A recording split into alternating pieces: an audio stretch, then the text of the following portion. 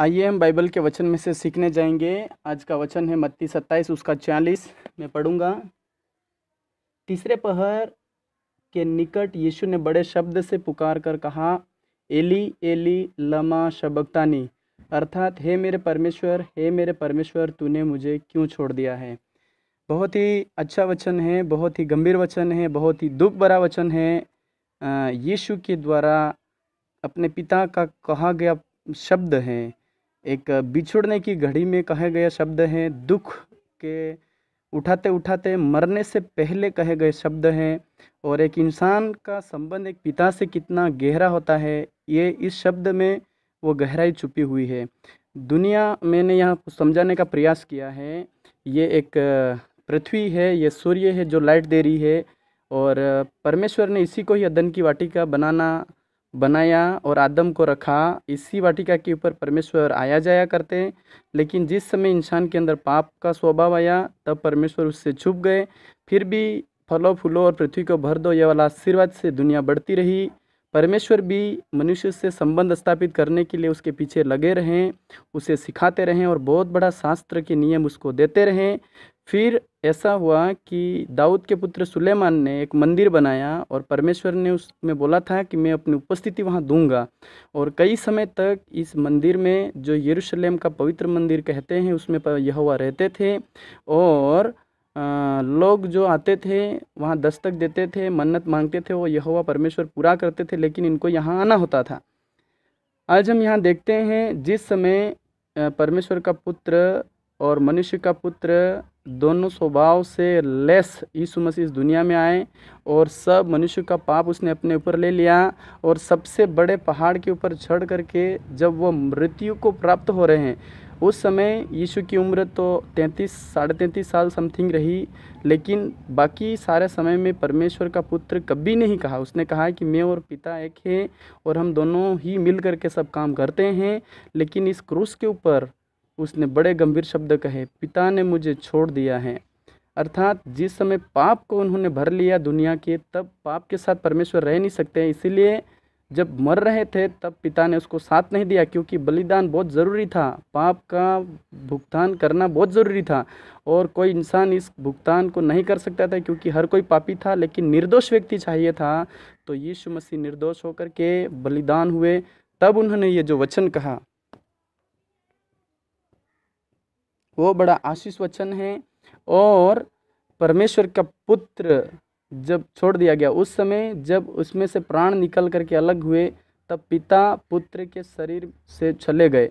अर्थात इसमें उपस्थित रहते थे यहोवा, उसका पिता जो इंसान बनाने वाला सौ परसेंट उपस्थित रहते थे। इसीलिए मनुष्य के सारी गतिविधियाँ, यीशु के अधीन थी समुद्र उसके अधीन था, सारी बातें अधीन थी। लेकिन जब यहाँ से पिता का आत्मा निकल गया। उस समय एक बड़ी घटना फिर घटती है। उसी प्रदेश में यरूशलेम मंदिर भी दो भागों में टूट गया और वहाँ से भी पिता ने अपनी उपस्थिति देना बंद कर दिया और पिता वहाँ से चले गए। यहोवा मंदिर से चले गए। तब क्या हुआ? अ, मंदिर दो पर्दों में फट गया और यहोवा ने सोचा कि जब मेरा पुत्र जो पवित्र ज़िंदगी जीता है उसमें से मैं निकल सकता हूँ तो मैं हाथ के बनाए हुए जो इंसान मंदिर में वहाँ अपनी उपस्थिति क्यों दो? अर्थात तब यह पूरी पृथ्वी के ऊपर से उठ गए और तब जब, तब ये यीशु के अंदर से शरीर पिता का आत्मा गया, तब लाश बना यीशु का शरीर और जब ये पवित्र शरीर लाश बना, तब क्या हुआ? तब सूर्य ने पृथ्वी पर अपना प्रकाश छुपा दिया और सारी पृथ्वी के ऊपर अंधेरा छा गया। देखिए, आज लोग मरते हैं, लेकिन उसका कोई वैल्यू नहीं है। कीड़े मकोड़े की तरह लोग मर रहे हैं। लेकिन परमेश्वर का पुत्र जब मृत्यु हुई, सारी पृथ्वी के ऊपर, तीसरे पहर के करीब करीब, बाइबल बताती है, अंधेरा छा गया। एक बड़ी घटना घटी पृथ्वी के ऊपर। सबसे पहाड़ी पे यीशु का मरना एक बहुत ही भौगोलिक परिवर्तन वाला साबित हुआ। तब यहोवा परमेश्वर वहाँ से चले गए। तीन दिन यीशु की लाश कब्र में रही और फिर यीशु जीवित हुआ और उसने तब से मंदिर में उपस्थिति देना बंद किया और उसने अनुग्रह का समय शुरू किया जब यीशु मसीह पुनर्जीवित हुए। अर्थात जो भी इंसान जहाँ कहीं भी प्रार्थना करेगा, वहाँ पर पवित्र आत्मा उसको ढूंढते ढूंढते चला जाएगा।